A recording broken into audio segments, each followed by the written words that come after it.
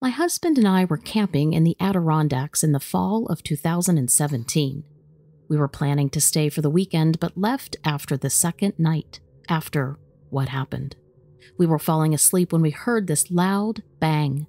We looked out the window and quickly locked eyes with a creature nearly eight feet tall, standing in the grass. It had long reddish brown hair and a very muscular body. It then turned its head away from us and looked off into the distance. I quickly moved to the back of the tent to get as far away as possible.